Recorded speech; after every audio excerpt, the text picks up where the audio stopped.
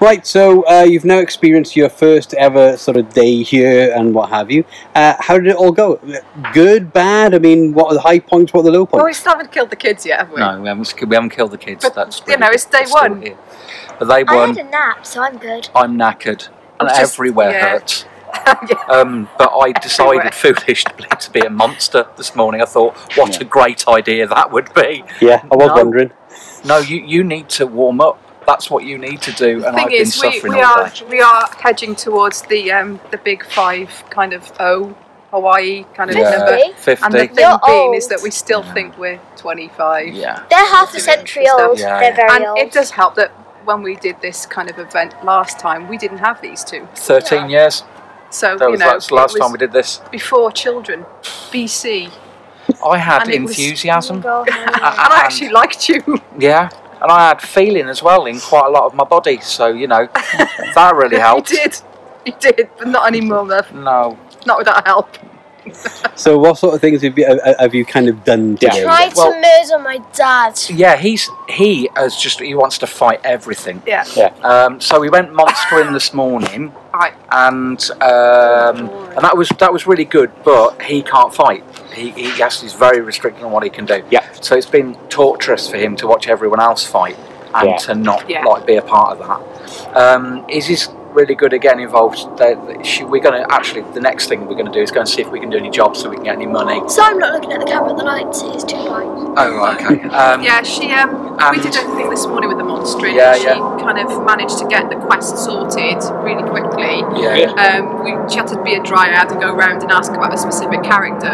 yeah. Um, and we went to three different encampments, and Charlie didn't really engage as much as she did. No, he just he was just got a bit shy and he was just running around spooking people. But she kind of went up and was asking people questions. Um, and I think after the third or fourth person, she actually found the right one in an encampment of this size, and you know that's quite a hard thing to do. But she managed to find the right person, got the right Took us information. like so five when we reported it back.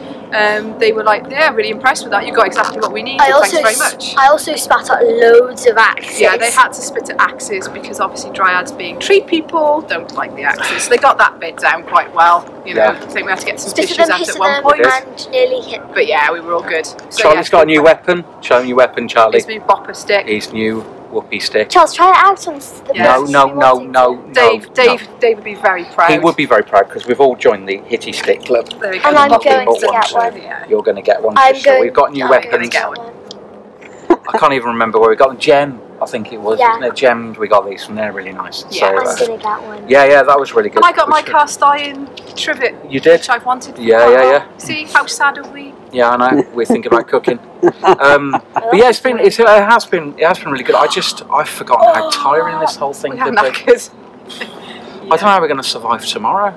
Uh, watch this space because the next interview will be the Oh, same kind of thing, but we'll be in the tent asleep. yes, I would say, I would So say we're not 25 anymore. so no. far you've only really sort of been involved in skirmishes, haven't you? Yeah. Um, now tomorrow it's going to be one of the major battles. So are you going to try to engage in the battle? Oh, hell absolutely. yeah. As long, as, well, as, Oh, long as yeah. it doesn't interfere with the linear event, because Yeah, obviously yeah, if the linear event happens at the same time, I've got to Yeah. Going all in. Kids.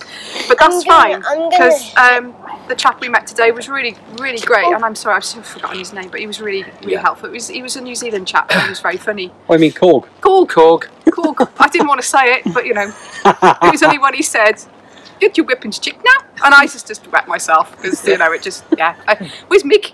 Where's Mick? you know, but yeah, you know he was very good and he was As long really as you're not engaging. scissors, we get a roll. Um, so yeah, we kind of had good fun with that, and uh, yeah, hopefully tomorrow the linear expedition we're doing with uh, trying to retrieve the Minotaur's horns will be quite an interesting one, I think. Yes, Yeah. definitely, definitely, definitely. So, want kill. what's your plans for this evening? Kill. Crimson Moon, Crimson Moon. Crimson Moon. and um, find somewhere with a fire pit, somewhere we can kind of get we're warm freezing. because it's cold. Yeah. You know, again, it's our age, I think. Crimson Moon.